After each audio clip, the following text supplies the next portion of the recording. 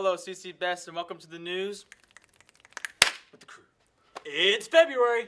Hard to believe we only have four months left until the end of school. This month has some great things going, so let's check out what's coming.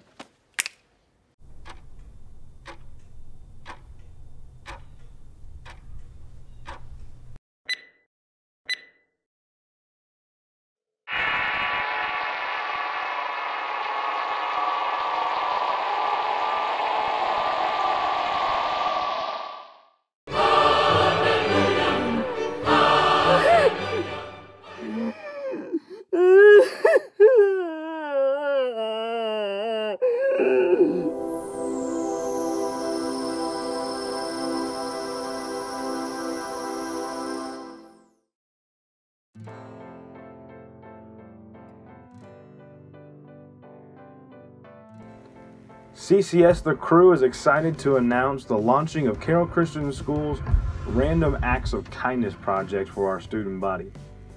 Next to Miss Hahn's office, there is a bulletin board filled with specific random acts of kindness written on cards that you can choose to do to make our school a kinder place.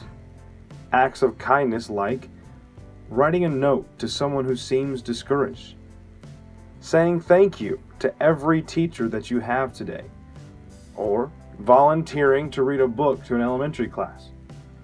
Once you have completed the act of kindness, you can move the heart from one side of the bulletin board to the other.